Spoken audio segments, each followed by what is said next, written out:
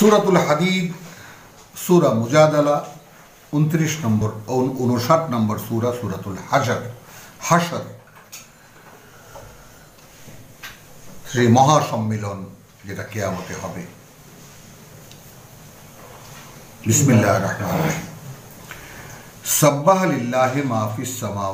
ওয়া মাহফিল তো উম্মুল মুসাব্বিহাত আমরা দেখেছি, যেটাকে আমাদের গুরুজন থেকে শিখেছি। সুরাতুল হাদিদ উম্মুল মুসাব্বিহাত তসবিহ দিয়ে শুরু যে সমস্ত সুরা, তার মা বলা হয়েছে সুরা হাদিদকে। অর্থাৎ মূল প্রসঙ্গ এখান থেকে শুরু। একটু যদি লক্ষ্য করি, সুরা হাদিদ উম্মুল মুসাব্বিহাত একেবারে সেন্টার পয়েন্ট অফ দ্য তসবি দিয়ে শুরু যে সমস্ত সুরার আছে। এরপরে মুজাদিলায় কিন্তু সেই তসবি নেই। কেন ক্রস করা হলো? এটা একটু পড়লে আপনারা বুঝতে পারবেন, এটা এক্ষুনি বোঝার বিষয় নয়। কেন প্রসঙ্গ প্রাসঙ্গিক এই যে ক্রসটা কেন আল্লাহ করেন? যে প্রসঙ্গগুলোকে ভেঙে ঠিক অন্য জায়গায় নেন, ঠিক দেখা যায় কাছাকাছি কিছু কথা বলেন, আবার সেই মূল প্রসঙ্গে ফিরিয়ে নিয়ে আসেন। এই যে কোরআনের বর্ণনা ভঙ্গির যে কতগুলো মানে রহস্য রয়েছে, সে রহস্যগুলো বুঝতে হলে আপনাকে মোটামুটি কোরআন সম্পর্কে যেটা আমি মন্তব্য করি আর কি খুবই সামান্য মানে তৌফিক আল্লাহ দিয়েছেন যতটুকু আলহামদুলিল্লাহ। সে অনুযায়ী বলতে চাই এই যে অ্যাট এ গ্লেন্স অর্থাৎ এক দৃষ্টিতে গোটা কোরআনের সোরে আলহামদুলিল্লাহ হিরাবিল আলমিন থেকে নিয়ে মিনাল জিন্নাত এবং নাস পর্যন্ত, গোটা বিষয়টা সম্পর্কে যদি এক দৃষ্টিতে আপনার কোনো একটা অস্পষ্ট হোক, একেবারে স্পষ্ট নলেজ থাকবে এমন মানে বলি না, সে পর্যন্ত আপনাকে অপেক্ষা করতে হবে। যে হ্যাঁ আমি গোটা কোরআন আমি দেখতে পাই এক দৃষ্টিতে।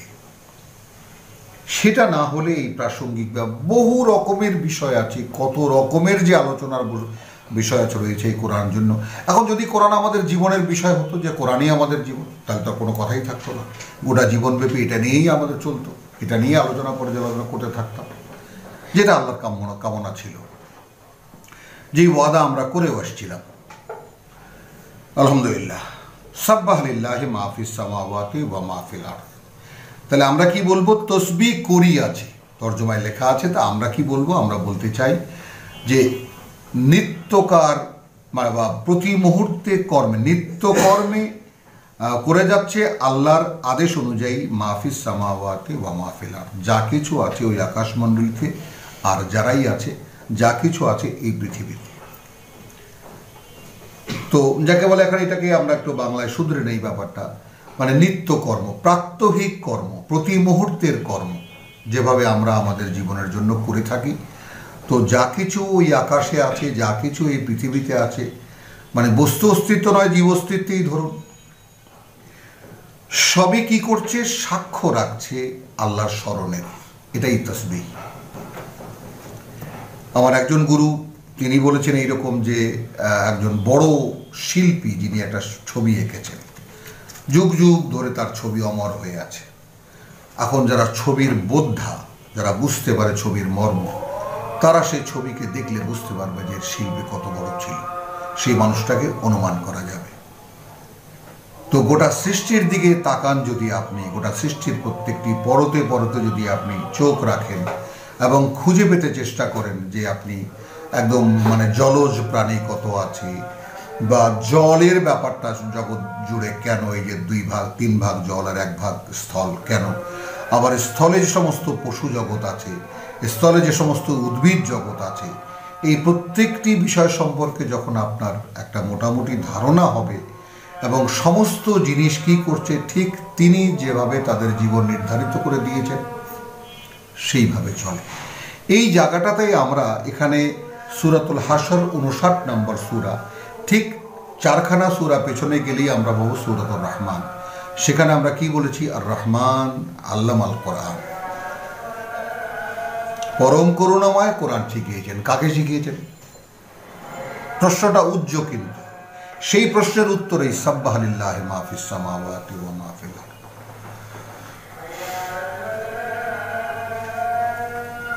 একেবারে প্রতি মুহূর্তের আল্লাহর নির্দেশনা বাস্তবায়ন করে যাচ্ছে। যা কিছু আছে ওই আকাশমণ্ডলীতে, যা কিছু আছে পৃথিবীতে।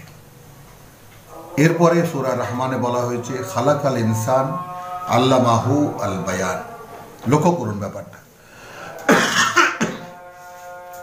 সৃষ্টি করেছেন মানুষকে এবং শিখিয়েছেন তাকে বলতে, বায়ান, বর্ণনা করতে।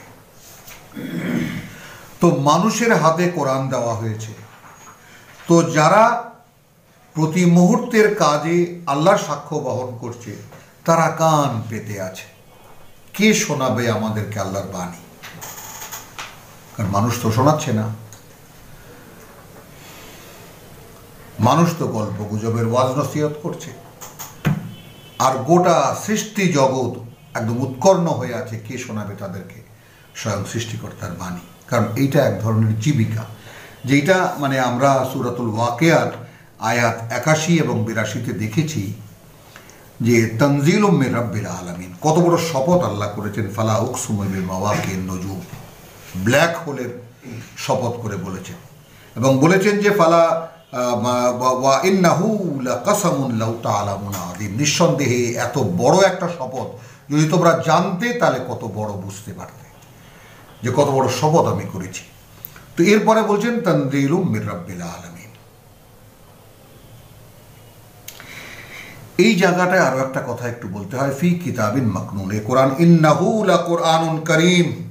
নিঃসন্দেহে মহাসম্মানিত এক পাঠ্য। ফি কিতাবিন মকনুন। রয়েছে একদম গোপন মূল পাণ্ডুলিপিতে। লা ইয়ামাসসুহু ইল্লাল মুতাহহারুন এর কত ধরনের তর্জমা, কত ধরনের ব্যাখ্যা, বিশ্লেষণ, তাফসির আমরা পড়েছি। কিন্তু আমাদের কাছে সরল যেটা মনে হচ্ছে, সেটাই আমরা সামনে রাখছি। এটা স্পর্শ করতে পারে না তারা ছাড়া যারা মোতাহার। যারা মোতাহার। এই মোতাহারকে আমরা আরেকটা শব্দ দিয়ে আমরা মানে এর মানে ইয়া করব, মুখলাস যারা। মোখলেস না। মুখলেস হলো যারা আল্লাহর জন্য সম্পূর্ণ নিবেদিত হতে চেষ্টা করছে। আর নিবেদিত হওয়ার পরে যাদেরকে স্বয়ং সৃষ্টিকর্তা নিজের জন্য বিশিষ্ট করে নিয়েছেন বা খাস করে নিয়েছেন, তারা মুখলাস। নবী রসুলের অন্তর্ভুক্ত। তো মুখলাস যারা, সেই তাদের তারা ছাড়া একে স্পর্শ করতে পারে না। কত হাজারো লোক আমাদের এখানে এসেছেন, চলে গেছেন, এবং তারা এখন তাদের স্বাভাবিক জীবনযাপন করছেন। মাঝে মাঝে কটাক্ষও করছেন আমাদের এই ক্লাস নিয়ে। তো দেখেছি তারা তারা যখন এসেছেন, কত উৎসাহ উদ্দীপনা, কোরআন পড়া যায়, কোরআন বোঝা যায়, খবর নেই তাদের এখন আর। তো এই ব্যাপারটা একটু খেয়াল রাখবেন যে কোরআন সকলকে স্পর্শ করে না। এর জন্য মানে প্রি কন্ডিশন যেটা, যেমন একজন ইলেকশনের জন্য একজন যদি মনোনীত, মনোনয়ন আনতে যান, কোনো পার্টি অফিসে তাকে কত কাঠখড় পড়াতে হয়, এগুলো আমাদের জানা আছে সব। তাহলে আল্লাহর মনোনয়ন পাওয়া খুব একটা খুব সহজ কথা নয়, যেটা আমরা সুরতুল মোজাদালে দেখেছি যে লা আগলি বান্না আনা ওয়ারসুলি এটা নিশ্চিত যে যে কোনো অবস্থাতে বিজয়ী থাকব আমি এবং আমার বার্তাবাহকরা। এই যে একেবারে মানে ঘোষণা তো সেই তার বার্তাবাহক হতে চাইবেন আর তার মনোনয়ন লাগবে না? সেই ব্যাপারটা একটু বুঝে নিতে চেষ্টা করুন।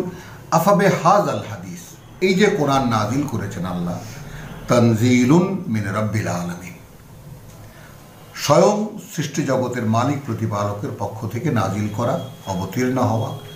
আফাবে হাজ আল হাদিস, এখন এই যে বাণী, এই যে বার্তা, এই যে কথা আন্তমোধহীন তোমরা একে উপেক্ষা করছ। এর সাথে উপেক্ষার আচরণ গ্রহণ করেছ। একে অগ্রাহ্য করছ। আরও ভয়ঙ্কর। ওয়াতাজ আলুনা রিজ কাকুম এবং বানিয়ে নিয়েছো, তোমাদের জীবিকাকে আন্না কুমতুকার দিবুন সেটাই তোমাদের কাছে মিথ্যা। ডাল চাল জীবিকা হয়ে গেল, জীবিকা তো এই কিতাব, জীবিকা তো আল্লাহর বাণী। বাদ বাকি সপ্ত ছড়ানো আছে, ওগুলো তোমার জন্য আল্লাহই করেছেন।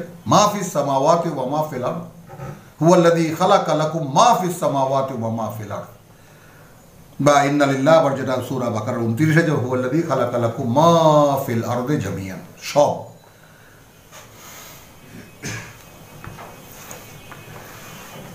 আসুন, সাব্বাহ লিল্লাহি মাহফিস সামাওয়াতি ওয়া মাহফিল আর ওয়া হুয়াল আজিজুল হাকিম।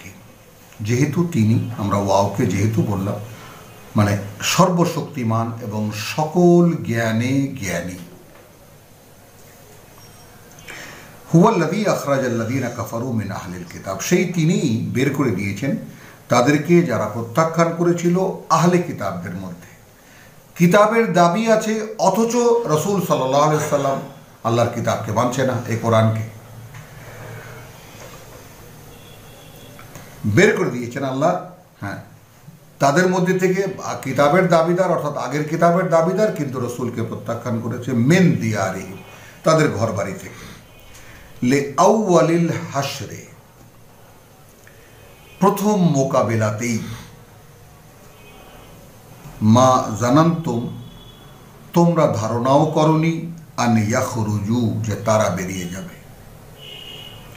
ওয়াদান্নু আর তারাও চিন্তা করছিল, ভাবছিল, ধারণা করেছিল, আন্নাহম, যে তাদেরকে মা নেয়াতহম হুসুন আহম মিনাল্লাহ। ঠেকিয়ে রাখবে, রক্ষা করবে, প্রতিরক্ষা দেবে তাদেরকে, তাদের সমস্ত এই সমস্ত দুর্ভেদ্য দুর্গ আল্লাহ থেকে। এমন সমস্ত দুর্গ তারা বানিয়েছিল। দেখুন আতা হমুল্লাহ মিন হাইসু লম ইয়াহতাসিবু। তখন এলেন আল্লাহ, এমন এক দিক থেকে ধারণাও করতে পারেনি তারা। তো আমাদের মেডিকেল সায়েন্স কোথায় চড়ে গিয়েছিল? ছোট্ট একখানা অনু ভাইজানকে পাঠিয়ে দিয়েছেন, তুমি একটু দুনিয়া সফর করে আসো। দেখছি পৃথিবী। বা কাদাফাফি কুলু বিহিমুর রো বা মূল ঘটনাটা কি দেখুন? সাতশো, সাড়ে সাতশো কোটির মধ্যে বিশ, বাইশ লাখ লোক মরে যাওয়া বড় কোনো ঘটনা নয়। কারণ এটা গ্লোবাল ভিলেজ এখন পৃথিবী। আগের একটা দেশে বিশ কোটি লোক মানে দ্বিতীয় মহাযুদ্ধে তো বিশ কোটি লোক মারা গেছে। নানানভাবে। তো সে তো কত প্রায় একশো বছর আগে, শত বছর আগে। তো এখন কি? এখন বিশ লাখ লোক মারা যাওয়া কোনো ব্যাপার এটা দেখাই যাবে না, বোঝাই যাবে না, কোনো হিসাবের মধ্যে আসবে না। কিন্তু মূল ঘটনা কি ছিল? ওয়াকাদাফাফি কুলুবিহিমুর রোবা। তিনি ঢুকিয়ে দিয়েছিলেন তাদের অন্তরে একটা আতঙ্ক। ইউখরিবুনা বুয়ুতাহম বেআইদিহিম। আতঙ্কটা এই যে তাদেরকে বাড়িঘর ছেড়ে চলে যেতেই হচ্ছে। এখন তারা নিজেরাই ভাঙছে তাদের ঘর বাড়ি এত সুন্দর আয়োজন। বেআইদিহিম ওয়া বেআইদিল মুমিনিন। বিশ্বাসীরাও সাহায্য করছে। কারণ রসুল আদেশ করেছেন, তোমাদেরকে বেরিয়ে যেতে হবে। এখন যা যদ্দূর নেওয়া যায় উটের পিঠে করে। ফাতাবিরু ইয়া উলিল কি কথা বললেন রব্বুল আলমে অতএব শিখে নাও দেখে, ওহে দৃষ্টিমান। কথাটা কি দেড় হাজার বছর আগে পুরনো হয়ে গেছে? নাকি আমরা এখন যেটা পড়লাম এখনও ঠিক একইভাবে দৃশ্যমান? কি দেখলে এখানে বলো?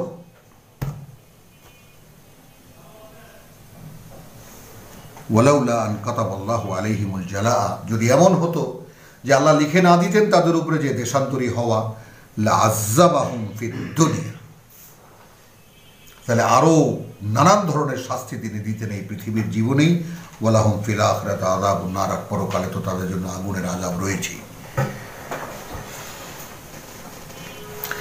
দালিকা বিয়ান্নাহুম শাকুল্লাহ ও রাসূলাহ। কেন এই পরিণতি তাদের? এটা এই কারণে যে তারা বিরোধিতা করেছে আল্লাহ এবং তার রসুলের এবং তার বার্তাবাহকের। ওমান ইউ শাক কিল্লাহ তাহলে এখন দেখুন আল্লাহ রসুল এক কিনা?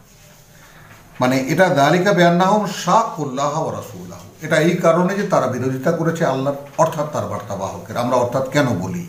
এই জন্যে যে এরপরেই এসে বাকি অংশটুকুকে শুধু আল্লাহ হয়ে গেলেন সাবজেক্ট ওমান ইউ শাকিল্লাহ তাহলে রসুলের বিরোধিতা করা মানে আল্লাহর বিরোধিতা করা। তাহলে যারা বিরোধিতা করেছে আল্লাহর ফাইন আল্লাহ সাদিদুল পাপ তাহলে আল্লাহ তো কঠিন প্রতিশোধ গ্রহণকারী, বড়ই বড় শাস্তি রাখ মা কাতাতুম মিনলিন মিনলিনাতিন এইবার তাদেরকে ছেড়ে সাবজেক্ট হলো বিশ্বাসীরা। কাটছিলে না তোমরা কোনো গাছের গুড়ি। আও তারাক তুমোহা অথবা কোনো কোনোটাকে তোমরা ছেড়ে দিচ্ছিলে। কায়ে মাতান দাঁড়ানো। আলা উসুলিহা, তার শিকড়ের ওপরে তার মূলের ওপরে সূক্ষ্মতর বিষয় যদি বুঝতে পারি। ইহুদিদের দুর্গগুলো ছিল, এগুলো ইতিহাস থেকে পড়া। দুর্গগুলো ছিল একদম পুরো খেজুর বাগানে দিয়ে, খেজুরের সারি সারি খেজুর বাগান দিয়ে একদম ঘেরাও করা। শৈশবে দেখেছি, আমার দাদার বাড়িও এরকম ছিল। দক্ষিণ দিকটা সম্পূর্ণ একদম এক টানা নারকেল গাছ দিয়ে ঘেরা। দূর থেকে দেখা যেত।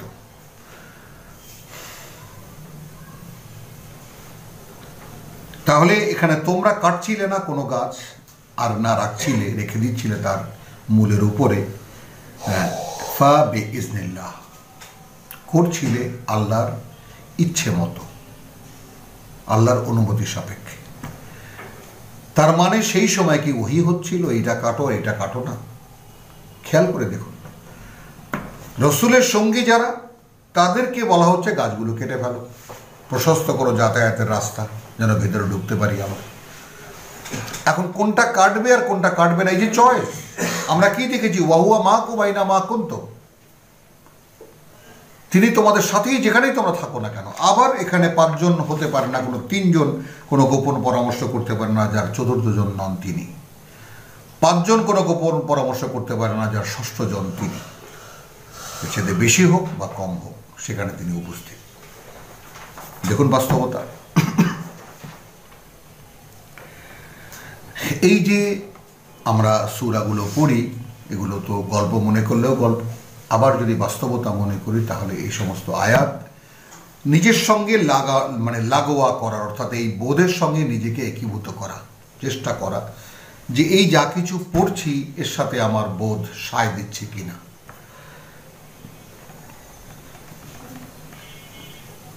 তাহলে মা কথা কাতাতু মিন মিন লিনাতিন আওতারাক্তু মুহা কায়মাতান, অথবা রেখে দিচ্ছিলে দাঁড়ানো আলা উসুলিহা তার মূলের উপরে, ফা বে ইজনিল্লাহ হচ্ছিল সেটা আল্লাহর সম্মতিক্রমেই বলে ইউখজি আল ফাসিকিন, এবং এটা হচ্ছিল এই কারণে যে তিনি যারা মুখে বলে মানি কার্যত মানে না তাদেরকে লাঞ্ছিত করতে।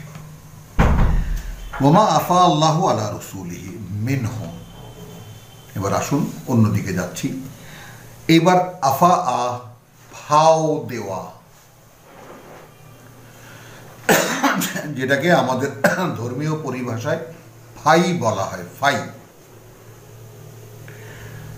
তো যা কিছু এই যে তার মানে ভাই কেন বলা হয় সেটা আমরা আয়াতই বলবেন, আমরা বলব না। যা কিছু আল্লাহ পাইয়ে দিলেন আল্লাহ রসুলহি, তার রসুলের উপরে, বা রাসুল কে মিন হোম তাদের থেকে।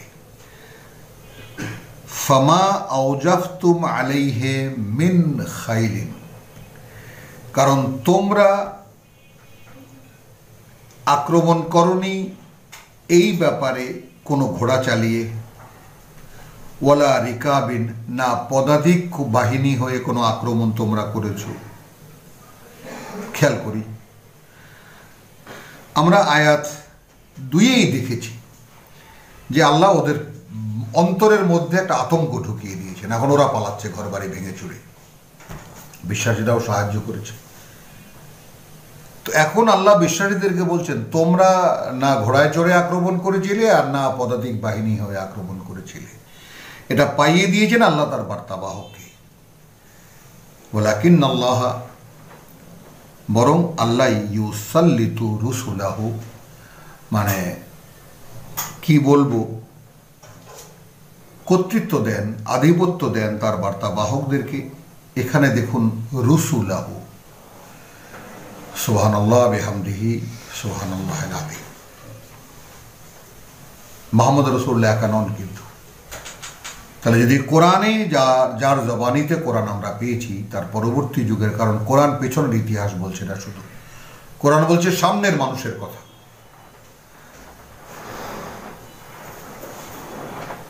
তাহলে আল্লাহর বার্তাবাহক যা হবেন, যারা হবেন বলে কিন আল্লাহ উসাল্লিত রসুলাহ আলা মানিয়া শাহ তার উপরে যা, যারা মানে তারা যা চায়। এখানে আমরা বলতে পারি যে দান করিয়ে দেন যে আল্লাহ যাহার উপর ইচ্ছা কর্তৃত্ব দান করেন। কিন্তু এই জায়গাটায় আমরা কিন্তু এই জায়গাটাকে উল্টে দিয়েছি যে আমরা এটাকে তর্জমা করি আলা মান ইয়াশা। তার উপরে তাকে যে চায়। লক্ষ্য করুন ব্যাপারটা। তাহলে মানসিকতার একটা বিষয় আছে। আমরা এই ধারাবাহিকতার মূল সূত্রপাত কোথায়? সুরতুল মোহাম্মদ সাতচল্লিশ, আটচল্লিশ নম্বর সুরা সুরা ফাতাহ। ইন্না ফাতাহানা আলাকা ফাতাহ মুবিনা। খুলে দিয়েছি আমরা তোমার জন্য চিরবিজয়ের এক পথ। লক্ষ্য করুন ব্যাপারটা। সুরায় মোহাম্মদকে ভালো করে পড়ুন, তারপরে এই ঘোষণা শুনুন যে আমরাই খুলে দিয়েছি তোমার জন্য এক চিরবিজয়ের পথ। এরপরে যা আছে আমরা তো পড়েছি, আপনারাও শুনেছেন। তেলাওয়াত রয়েছে রেকর্ডে। এরপরে সুরা মোজাদেলায় আমরা কি দেখলাম? দেখলাম এই যে লা আগলি বান্না আনা বারুসুলি অন্দালিল্লাহ সুরা হাদিদে আমরা কি দেখলাম? যে ওয়াহুয়া মাকুম, আইনা মাকুম তুম যেখানেই তোমরা, সেখানেই তিনি। ইন্নাল্লাহ মা অবিচল যারা নিজেদের অবস্থানে আল্লাহ তাদের সঙ্গে। তাহলে আল্লাহকে সঙ্গে অনুভব করার যে ব্যাপারটা আপনার স্ত্রী, পুত্র, কন্যা, সংসার, প্রয়োজন, এটা, সেটা মানে এই সমস্ত বিষয়ের মধ্যে একে প্রবেশ করানো, এর চাইতে বড় ফাইট নিজের সঙ্গে নিজের, এর চাইতে বড় যুদ্ধ নিজের সঙ্গে নিজের আর কিছুই হতে পারে না এই পৃথিবীতে। সব কিছুকে বাদ দিয়ে আল্লাহকে সঙ্গে অনুভব করা, যে আমি আল্লাহ আমার সঙ্গে আছে তারপর তো আমরা দেখেছি সুরা ফুসেলার থেকে যে, সুরা একচল্লিশ নম্বর আয়াত থেকে যে যে ইন্দালাদিরা কল রব্বন আল্লাহ সোম্মাস্তাকাও যারা বলল যে আমাদের সৃষ্টিকর্তা প্রতিপালক আল্লাহ, তারপর দাঁড়িয়ে গেল। অবিচল হয়ে। ততানাজ্জালু আলাইহিমুল মালাইকা। তাহলে কোথায়? নবী রসুলদের উপরে ফেরেস্তা নাজিল হয়েছেন, এখন হবেন না? এখনও তো হয়। কিন্তু আপনি আপনি নিজেকে দেখুন, আপনি কি বলেন এই কথা যে একেবারে রব্বুনা আল্লাহ, সৃষ্টিকর্তা, প্রতিপালক আমাদের আল্লাহ তিনি একমাত্র মান্য। আল্লাহ মানে একটা যৌগিক শব্দ বলেছি, আল ইলাহ। একমাত্র মান্য তিনি, তিনিই যিনি আমাদেরকে সৃষ্টি করেছেন এবং প্রতিপালন করছেন। দেখুন কীভাবে মিলে যায় ব্যাপারটা। মানে ইন্নাল্লাদিনা কলু রব্বুনা আল্লাহ। যারা বলল, এখন যদি আমরা একদম বাংলা যেভাবে তর্জমা করি সেভাবে যদি বলি, ইন্নাকে যদি নিঃসন্দেহ বলি, নিঃসন্দেহে তারা যারা বলল যে আমাদের সৃষ্টিকর্তা প্রতিপালক এবং একমাত্র মান্য আল্লাহ। তাতানাজ্জালু আলাইহিমুল মালাইকা। তাহলে স্তরগুলো এবং ব্যাপারগুলো আপনার বিবেচনায় রাখতে হবে, ভাবতে হবে, চিন্তা করতে হবে, এ নিয়ে গবেষণা করতে হবে তারপর বুঝতে পারতে হবে। সুরাতুল হাসর আমরা তেলাওয়াত করছি, আয়াত ছয়। ওমা আফা আল্লাহ আলা রসুলিহি, যা কিছু মানে পাইয়ে দিলেন আল্লাহ তার বার্তা বাহককে মেনহুম তাদের থেকে। ফামা আওজাফতুম, নোটিস করলেন বিশ্বাসীদেরকে, তোমরা কিন্তু আক্রমণ করনি তার উপরে মেন খাইলেন, কোনো ঘোর সওয়ার হয়ে। ওয়ালা রিকাবিন আর না পদাতিক বাহিনী হয়ে ওলা কিন্নাল্লাহ ইউসাল্লিতু রুসুলাহু। সুবহানাল্লাহ। কিন্তু আল্লাহ আধিপত্য দেন, পাইয়ে দেন তার বার্তা বাহকদেরকে আল্লাহ মানিয়ে শাহ তাই এখানে আমরা কি বলব? যা যাকে তিনি চান, এইভাবে তর্জমা করা আছে। যা বরং আল্লাহ তাহার রসুলগণকে যাহার উপর ইচ্ছা কর্তৃত্ব আধিপত্য দান করিয়ে দেন। তো এটা তো সেই চিরায়ত বা আমাদের এ পর্যন্ত প্রচলিত তর্জমাই গেল। কিন্তু আমাদের দ্রোহটা কোন জায়গায়? আরবি ভাষার তো কোনো ব্যত্যয় হচ্ছে না। আমরা কি বলেছি? যে আমরা যেহেতু আগলিবান্না আনাবা রসুলি, আমরা ওই ঘোষণাকে আমরা সামনে রাখব। যে যে কোনোভাবে আমরা বিজয়ী থাকব, আমি এবং আমার বার্তাবাহকরা। এইটা সেই সোরায় হাজের শেষ রুকুর যে কথাটা আল্লাহু ইয়াস্তাফি মিনাল মালাইকাতে রুসুলান ওয়া মিনান নাস। আল্লাহ বাছাই করে মনোনীত করেন ফেরেস্তাদের মধ্যে থেকেও তার বার্তাবাহক এবং মানুষের মধ্যে থেকেও তার বার্তাবাহক। এবং বাছাই যদি হয়ে যান সুরা মোজাদারা শেষ আয়াতে, বাইশ নম্বর আয়াতে, পরিষ্কার কথা ঘোষণা হয়েছে। কীভাবে বাছাই হবেন? সে লোক যে বিশ্বাস করে আল্লাহতে এবং পরকালে, সে তার অন্তরে খুঁজেও পাবে না, কোথাও খুঁজেও পাবে না যে সে ভালোবাসে, তার পিতা তার পুত্র, তার মানে বা আত্মীয় স্বজন কাউকে যদি তারা আল্লাহর বিরোধী এবং রসুলের বিরোধী হয়ে থাকে। তাহলে সে গণ্য করুক নিজেকে কি? কাতাব আল্লাহ কাতাবা কাতাবা ফি কুলু বিহিমুল ইমান লিখে দেওয়া হয়েছে তাদের অন্তরে ইমান এই কারণে ওগুলো সহ্য হচ্ছে না তার অন্তরে। এরপর প্রাপ্তি কি? বা আইয়াদাহুম বিরুহিম মিনহুম আল্লাহ তো স্বয়ং আছেনই। তার উপরে এক পবিত্র অস্তিত্ব তার সহায়তায় পাঠিয়ে দেন সরাসরি তার থেকে। সুরায় নাহালে দেখুন আরও কত জায়গায় আছে রুহ, কি এবং রুহ কেন পাঠানো হয়। আমরা তো সেই জিব্রাইল জিব্রাইল রুহ মানে জিব্রাইল না। এক সহায়ক শক্তি যে পরকালীন চেতনা জাগিয়ে তুলবে তার মধ্যে সবসময় এবং সে সবসময় সঙ্গ থাকবে। তাহলে তাতানাজ্জালু আলিহিমুল মালাইকার বাস্তবতা।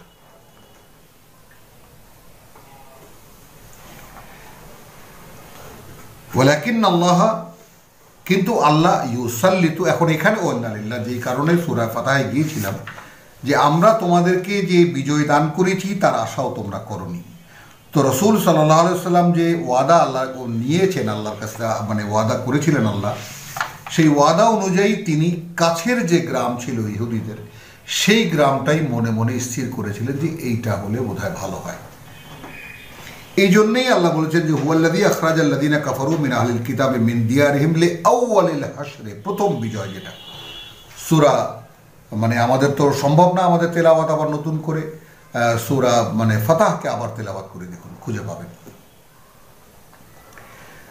তাহলে ওয়ালাকিন আল্লাহ ইউসাল্লিত রসুলাহু আলা মান ইয়াশা। এবং তিনি একেবারে আধিপত্য দেন, তার বার্তাবাহকদেরকে, তার উপরে, যার উপরে তারা চায়।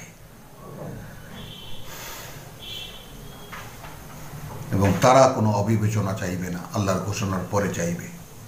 তখন একটা চয়েস দেবে যে, প্রভু, এইটা হলে ভালো হয়। আল্লাহ যদি বলেন যে, এখন চাও। হ্যাঁ আল্লাহ এটা দাও। আল্লাহ আলা কুল্লি সাইয়েন কাদের। এইবার দেখুন কীভাবে মেলে ব্যাপারটা। যেহেতু আল্লাহ প্রত্যেকটি বিষয়ের উপর, প্রত্যেকটি জিনিসের উপর নিজের ক্ষমতা প্রয়োগে সক্ষম।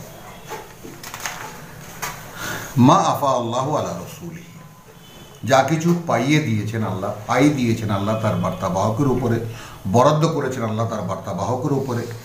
হ্যাঁ মিন আহলিল কোরা, ভাঙছেন কথাটাকে। জনপদের অধিবাসীদের থেকে ফা একেবারে পরিষ্কারভাবে ঘোষণা করে দিলেন, যা কিছু রসুলকে পাইয়ে দিয়েছেন, এটা আল্লাহ। এরপরে বলেন রসুল। মানে বিশ্বাসীদেরও কারও মনে যেন কোনো দাবি না থেকে যায়, যে আমরাও তো ছিলাম সঙ্গে। আমরা এর অংশ পেলাম না কেন? তাহলে এটা আল্লাহর এবং তার বার্তাবাহকের একদম পার্সোনাল যেটা। আর কি, বার্তা, ওয়ালি রিল করবা, বার্তাবাহকের নিকটাত্মীয়, ওয়াল ইয়াতামা, এবং তার পছন্দের যে সমস্ত ইয়াতিম মিসকিন এবং দরিদ্র রয়েছে ওয়াবনে সাবিল মানে একটা ফান্ড রাব্বুল আলমিন রসুলকে তুলে দিলেন। কারণ একদিন পর্যন্ত কি ছিল, যা কিছু হচ্ছিল সব মানে ভাগ বন্টন হয়ে যাচ্ছিল আল্লাহ নিয়ম অনুযায়ী। সুরে আনফালে আমরা যেটা দেখেছি। ভাগের নিয়মও বলে দিয়েছেন আল্লাহ। কাই? তার মানে এবার দেখুন ইতিহাসেরও কিছু মানে ভূমিকা এখানে রয়েছে, যেটাকে আল্লাহ তালা বলছেন যে মানে আসারিন মিনাল এল একদম জ্ঞানগত কোনো ইতিহাস ঐতিহাসিক তথ্য। কাই লাকুনা দুলাতান। এই যে দিলেন আল্লাহ তার কৈফিয়তটাও বিশ্বাসীদেরকে দিয়ে দিচ্ছেন যেন থেকে না যায় সম্পদ বাইরাল আগ্নিয়ায় মেনকো। তোমাদের মধ্যে ধনাঢ্য যারা, তাদের মধ্যে। মানে এইবার তোমাদেরকে তো বিলি বন্টন করে, ভাগ বন্টন করে দিয়েছেন, এই পর্যন্ত রসুল যা কিছু তিনি পেয়েছেন। আর এখন এটা আমি শুধু রসুলকে দিলাম। সে এখন ইচ্ছা মতো এটাকে ব্যবহার করবে। তারও কিন্তু একটা চৌহদ্দি দিয়ে দিলেন। তার নিকটাত্মীয়, তার পছন্দের তিন, দরিদ্র এবং মানে পথিক। থাকল কোথায়?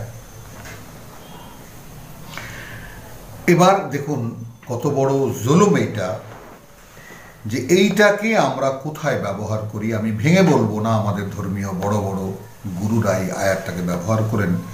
অমা আতা কুমর রাসুলু ফাহুজুহু অতএব যা তোমাদেরকে আল্লাহর বার্তাবাহক দেন, সেটুকুই তোমরা নাও। তার মানে কোন বড় একটা সেক্টরকে হালাল করার জন্য এই আয়াত এবং সুরায় নাজমের ওমা ইয়ান্তিক আনিল হাওয়া ইন হুয়া ইল্লা ওয়াহিউন ইউহা। তিনি নিজে নিজে থেকে কিছুই বলেন না, যা বলেন তাই বলেন তাই বলেন তাই যা তার কাছে ওহি করা হয়। এটা ওই একান্তই প্রাসঙ্গিক মক্কার লোকদেরকে বোঝাবার জন্য। এবং সেটা সম্পূর্ণ ভিন্ন একটা কম্প্যাক্ট প্রসঙ্গ, ওখান থেকে এটাকে আলাদা করার কোনো সুযোগই নেই। ঠিক এখানেও যে আমি তো যা কিছু প্রাপ্তি রসুলকে দিলাম, এখন রসুল পার্সোনালভাবে এটাকে ব্যবহার করবেন, নিজ বা পছন্দ মতো ব্যবহার করবেন, তারপরেও তার একটা মানে ক্ষেত্র দেখিয়ে দিয়েছেন। এরপরেও বলেছেন, আল্লাহ তালা তাকে খোটা দিয়ে বলেছেন, তোমরা ঘোরসওয়ার চালাওনি তোমরা আক্রমণ করো করনি তোমরা পদাধিক হয়ে আক্রমণ করো করনি আমি এটা এমনিতেই আমার রসুলকে দিয়ে, পাইয়ে দিয়েছি। কারণ আমার নিয়ম হলো যে, আমার বার্তাবাহক যারা, তাদেরকে এইভাবে আমি পাইয়ে দিই। একদম সহজভাবে যেটা বললাম। এইখানে এসে কার্যকারণ ব্যাখ্যা যখন হচ্ছে, তখন যে ব্যাপারটা হচ্ছে, কাই লাই আকুন আদুলাতান বাইনাল আগ্নিয়ায় মিনকু তোমাদের মধ্যে যারা পেয়েছ কিছু, এখন ধনী তো কেউ হয়নি। এখন আগ্নিয়ায় মানে গানি মানে অর্থাৎ মানে একেবারে পরিষ্কার যে তোমাদের মধ্যে যারা ধনাঢ্য, যারা এমন গণী, শব্দের অর্থ এমনভাবে এখানে হবে না। এখানে হবে যে তোমাদের মধ্যে যাদের আছে, তাদের মধ্যেই যেন ঘুরপাক না খেতে থাকে। এগুলো বাড়তেই হবে। এইটা আমি রসুলকে দিয়েছি। এখন এর পরেও যদি মা আতা কুমর রসুল ফাহুজু দেখুন আপনি নিজে পড়ে দেখুন। তবুও যা দেন তোমাদেরকে আল্লাহর বার্তাবাহ নিয়তা ওমা নাহাকুম আনহু। এবং তিনি নিষেধ করেন তোমাদেরকে যা থেকে, ফান্তাহু। তখন তোমরা ক্ষান্ত হও। ও ওত্তাকুল্লাহ ভয় করো আল্লাহকে। ইন্নাল্লাহ শদীদুল কাব শাস্তি দানে আল্লাহ বড়ই কঠোর। লিল ফকরাইল মুহাজিরিন আল্লাদিনা উখরিজু মিন দিয়ারিহিম। প্রত্যেকটি কথা মানে তার আগের আয়াত, তার পরের আয়াত কীভাবে ভেঙে ভেঙে বলেন সেই গোটা বিষয়টা। সেই সমস্ত দরিদ্র জন যারা হিজরত করে এসেছে, ঘরবাড়ি ছেড়ে এসেছে আল্লাদিনা ওখরেজু মিন দিয়ারিহিম। এরা তো তারাই যাদেরকে উৎখাত করা হয়েছে তাদের ঘরবাড়ি থেকে। ও আমোয়ালিহিম এবং তাদের সহায় সম্পদ থেকে। ইয়াবতাগুনা ফদলাম মিন আল্লাহ রিদওয়ান আল্লাহ। কি চায় এরা? কেন তারা ঘরবাড়ি ছেড়েছে? কেন সহায় সম্পদ সব ছেড়ে দিয়ে চলে এসেছে? এরা তো সেটাই চাওয়ার বা পাওয়ার আশা আশা নিয়ে এসেছে যে আল্লাহ আল্লাহর ফদলাম মিন আল্লাহে, আল্লাহর একটা অনুগ্রহ এবং তার সন্তুষ্টি। ওয়াইয়ান সরুন আল্লাহ কার্যত এরাই তো সাহায্য করছে আল্লাহকে, অর্থাৎ তার বার্তাবাহককে। সুরায় মোহাম্মদে কি দেখেছি? ইনতান সরুল্লাহ ইয়ান যদি আল্লাহকে সাহায্য করো, তিনি তোমাদেরকে সাহায্য করবেন। তো কীভাবে সাহায্য করেন? তার ব্যাখ্যাটা এখানে দেখিয়ে দিচ্ছেন। আল্লাহ।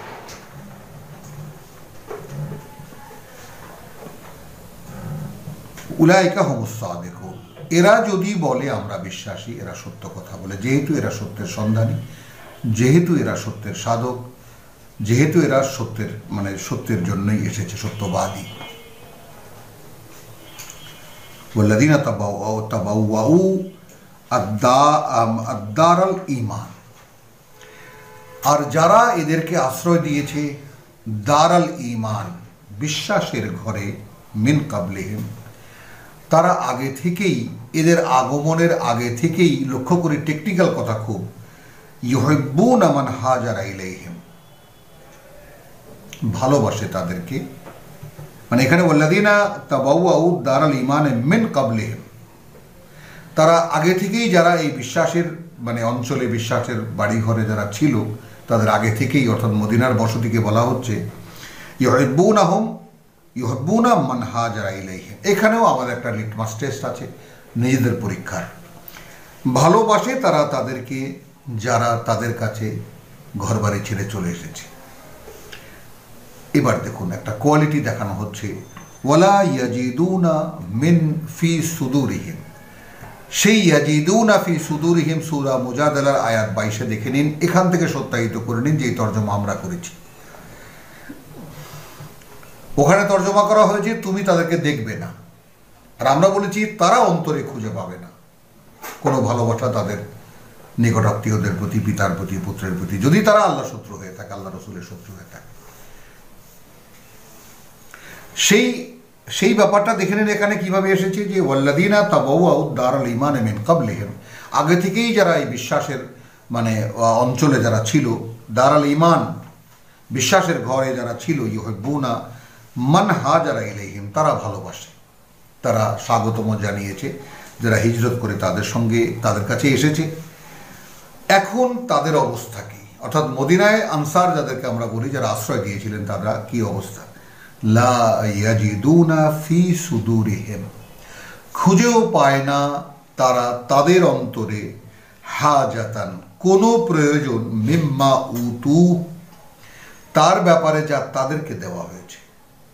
তাহলে এইবার আয়াত সাতের মর্ম বোঝা গেল যে রসুল সাল্লাহ আলাইসলাম যা পেয়েছেন এ থেকে স্পেশালি মানে মক্কা থেকে হিজরত করে আসা দরিদ্রদেরকে কিছু স্পেশাল কিছু দিয়েছে এখন এই মক্কা থেকে যারা হিজরত করে এসেছে, তারা তো এই মদিনার কোনো না কোনো ঘরে আছে। এখন এই মক্কা থেকে আসা লোকেরা যা পেয়েছে, সেই পাওয়ার ব্যাপারে মদিনা যারা তাদেরকে আশ্রয় দিয়েছে, তারা তাদের অন্তরে কোনো প্রয়োজন বোধ করে না, অনুভব করে না। ওয়ালাউ মিম্মা উতু ওয়া ইউসিরুনা আলা আনফুসিহিম। তারা বরং তাদেরকে অগ্রাধিকার দেয় তাদের নিজেদের উপরে। ওয়ালাউ কানা বিহিম খাসাসাতান। সেই সমস্ত জিনিসপত্র যা মহাজের লোক পেল তাদের ঘরে থাকা, যেহেতু তারা তাদেরকে অগ্রাধিকার দেয়, তাদেরকে সম্মান করে, তাদের নিজেদের চাইতেও সেহেতু তারা যেটা পেয়েছে, তার প্রয়োজন তার থাকলেও তারা কোনো প্রয়োজন অন্তরে বোধ করে না। একে বলে পরিশুদ্ধি এবং সেটা আল্লাহ করেন।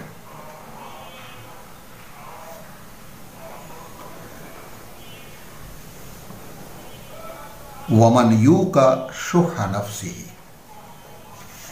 ভয়ঙ্কর এক ঘোষণা, যা এরপরে আমরা সুরা দেখব, সুরা আপনার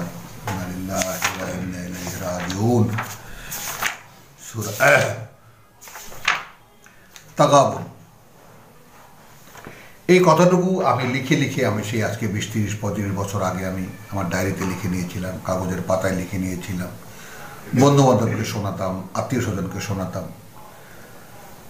ওমান ইউকা শু হানাফসিহি ফাউলাই কাহমন মুফলিহুন। আমার একজন খুব আপনজন ছিল বন্ধু এবং ভাই। সে বলতো যে, আয়, আমার ব্যাটারি ফুরিয়ে গেছে, একটু চার্জ দিয়ে যা। তো সে চার্জড হতো এই আয়াত শুনলে যে, যাকে ইউকা, ওয়াকায়ুকে যাকে রক্ষা করা হলো, সুহা নফসিহি, তার অন্তরের সংকীর্ণতা থেকে, ফা উলাইকা, তাহলে এরাই সেই হুমুল মুফলেহুন যারা সফল হবে। ভাবুন এবার।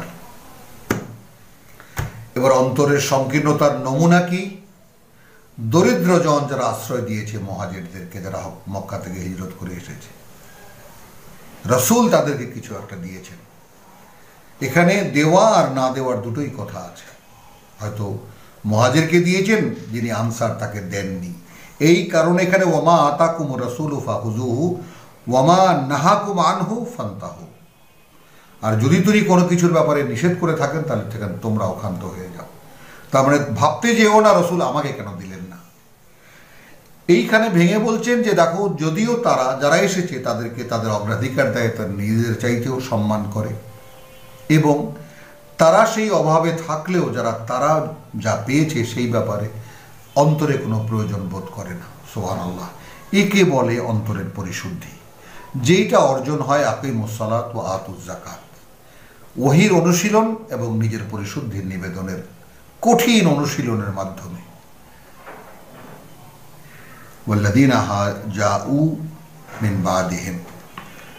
এবং তারা যারা এসেছে তাদের পরে ইয়াকুলুন রব্বানা আগফির লানা, প্রভু ক্ষমা করে দাও। আমাদেরকে ওয়ালি ইখওয়ানিন আল্লাদিনা সাবাকুনা বিল ইমান এবং আমাদের সেই সমস্ত ভাইদেরকে যারা অগ্রগামী বিশ্বাসের ক্ষেত্রে ওলা তাজ আলফি কুলুবিনা গিল্লান। এবং আমাদের মনে কোনো মানে কি বলব, অনুযোগ রেখো না। তোমরা এলে, আমরা পরে এলাম, আমরা পিছনে পড়ে গেলাম। লিল্লাদিনা আমানো, যারা বিশ্বাস এনেছে তাদের প্রতি। এই গিলের ব্যাপারটা একটু দেখে নিন, যেমন মানে জান্নাতে যারা যাবে, তাদেরকেও অন্তল্লাহ বলেছেন যে কোনো গিল থাকবে না কারোর প্রতি কোনো অনুযোগ থাকবে না। এরা অগ্রগামী, তারা সাহস করেছিলেন, এসে গিয়েছেন। পরে যারা এসেছে, তারা তো পেছনের ব্যাপারটা একটা মনের মধ্যে একটা হতাশা থাকবেই যে আমরা প্রথমে কেন এলাম না। তো ওলাদিনা যাউ মেন বাদেহেম, তারা কিন্তু প্রার্থনা করছে। আমরা কিন্তু সুরায় তবা এর একটা পরিষ্কার চিত্র দেখে এসেছি। সেটা দেখুন যে তবা বলেছে ও সাবেকুন সাবেকুন আর ও সাব আজকে কি হয়েছে?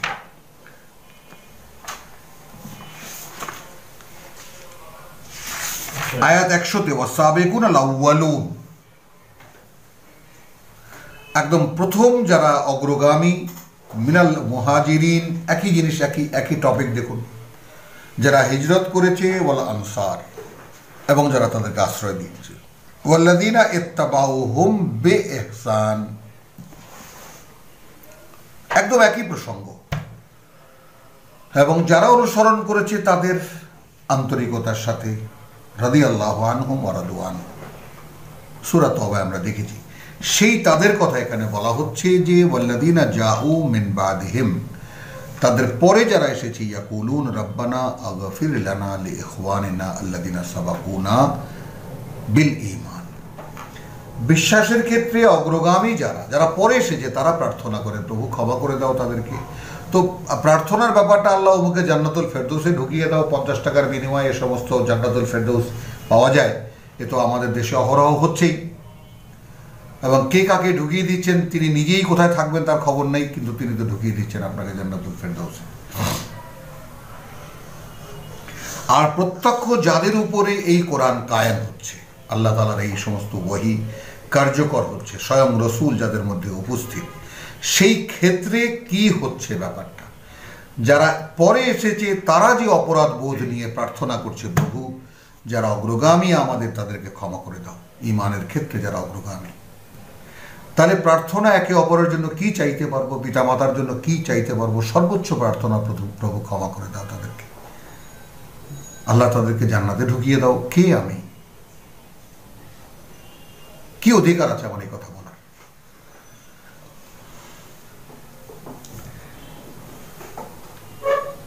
বলার তো লে ইখওয়ানিন আল্লাযিনা সাবাকু লিল ঈমান ওয়ালা তাজআল ফি কুলুবিনা গিল্লান এবং রেখে দিও না আমাদের অন্তরে কোনো ধরনের অনুযোগ। লিল্লাদিনা আমানু, যারা বিশ্বাস এনেছে, তাদের প্রতি রব্বানা ইন্নাকা রাউফুর রাহিম। হে প্রতিপালক, তুমি তো পরম স্নেহময়, পরম করুণাময়। তো আলহামদুলিল্লাহ, আমরা সুরায় হাসরের যেহেতু এরপরে মোটামুটি যতটুকু রয়েছে, কিন্তু আলোচনা রয়েছে অনেক। এই কারণে আমরা আয়াত দশে এসে আজকে আমাদের তেলাওয়াত শেষ করলাম। রব্বানা আমান্না প্রভু, আমরা বিশ্বাস এনেছি।